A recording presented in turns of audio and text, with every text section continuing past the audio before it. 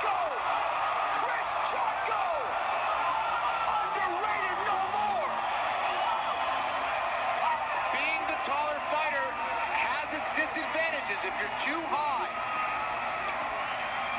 There was an overhand shot